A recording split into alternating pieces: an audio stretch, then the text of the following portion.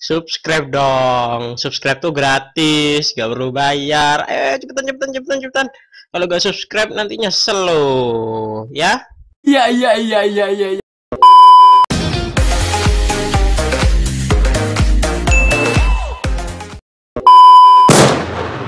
Oke guys, sorry ya guys, tadi baterainya mati guys. Ini tinggal dua guys baterainya guys. Jadi aku lanjutin ya. Ini langsung aku singkat. Yang kelima ini, ini langsung aku masukin part 2 ya. Soalnya part pertamanya tadi udah agak juga tahu guys, pokoknya tak gabungin lah nanti lah. Gak tahu part 2, part pertama gak tahu aku. Ini yang kelima Nyonya Astini guys. Astini adalah pelaku pembunuhan terhadap tiga orang wanita yang merupakan tetangganya. Tetangganya itu bernama Rahayu, Sri Astuti Wijaya, dan Puji Astuti. Alasan pembunuhannya sebenarnya cukup sepele. Pelaku merasa korban menagih hutang dengan kata-kata kasar. Dan jumlah hutang yang ditagih pun sebenarnya tak banyak. Hanya ratusan ribu saja. Dan Astini melakukan pembunuhannya dari tahun 1992 ke tahun 1993 serta tahun 1996 berarti satu tahun berhenti vakum tiga tahun lalu lanjut lagi dan semua korbannya ini dimutilasi dimutilasi dimutilasi guys dan potongan-potongannya itu dimasukkan ke dalam tas kresek yang kemudian dibuang ke berbagai tempat terpisah.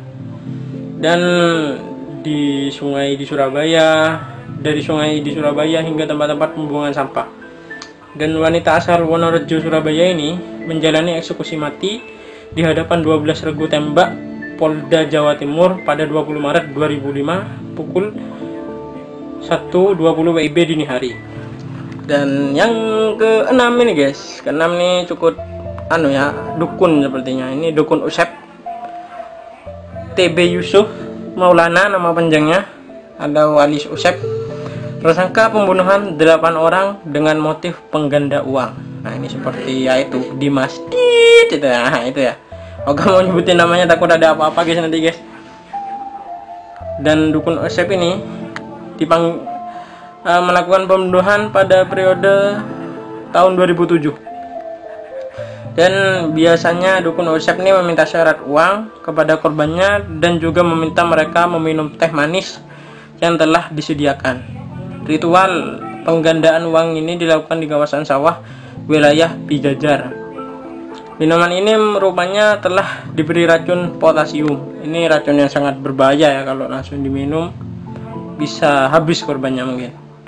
Korban-korban yang meregang nyawa dengan mulut berbusa itu masih hidup ketika ia lalu menguburkan mereka hidup-hidup di sebuah lubang galian yang telah disiapkan sebelumnya. Oh jadi lubang galiannya itu sudah disiapkan sebelum dia mema apa membunuh korbannya ini guys dan Usep mengaku melakukan pembunuhan karena alasan ekonomi selain itu juga dirinya tak bisa memenuhi jumlah uang yang telah ia janjikan kepada para korban.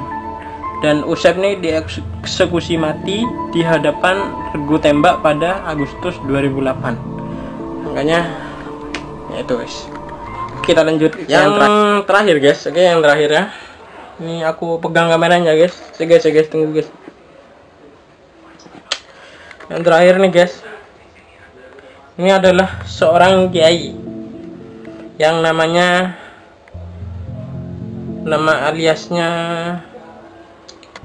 Rian Jombang. Nama aslinya ini guys. Ferry Idam Heryansyah. Dan ini tersangka pembunuhan yang disertai dengan mutilasi. Ia melakukan aksinya di Jakarta dan di Jombang. Kasus Rian mulai terungkap karena korbannya yang termutil termutilasi ditemukan di Jakarta dan setelah ditangkap dan ditelusuri lebih jauh rupanya pria penyuka sesama jenis ini telah melakukan pembunuhan dan mutilasi terhadap beberapa orang yang mayatnya dikuburkan di halaman belakang rumahnya di Jombang.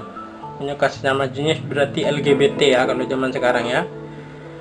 Total korbannya mencapai 11 orang, termasuk di dalamnya seorang gadis muda bernama Grady Glenn Adam Tumbuhan.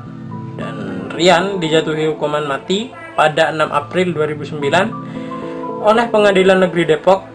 Berbagai upaya dilakukannya mulai dari pengajuan banding kasasi permohonan peninjauan kembali.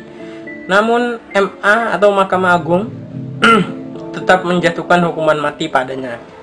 Dan itu guys hmm, apa? Tujuh pembunuh berantai terkejam di Indonesia ya kalau menurutku ya lumayan kejam sih bunuhnya itu sih. Ada dengan cara jadi dukun terus dia melakukan ritual minum teh manis terus diisi apa obat kimia yang berbahaya ya. Terus pelakunya itu dikubur hidup-hidup ada yang dimutilasi. Ah pokoknya macam-macam guys. Makanya hati-hati guys kalau ada orang yang ngajukan apa? Ada orang tidak dikenal terus nyapa apa? Moro-moro nyapa kamu di jalan gitu terus pura-pura kenal sama kamu hati-hati guys. Itu adalah hmm, sepertinya seorang pembunuh berantai itu guys. Hati-hati ya. Guys sekian dulu video kali ini guys. Thank you for watching this video oke? Okay? tetap semangat oke? Okay? semangat yang kerja tetap semangat. Yang kuliah tetap semangat. Yang sekolah tetap semangat oke? okay? Saya Teguh Daily Vlog wassalamualaikum warahmatullahi wabarakatuh guys jangan lupa subscribe Woo! Yeah.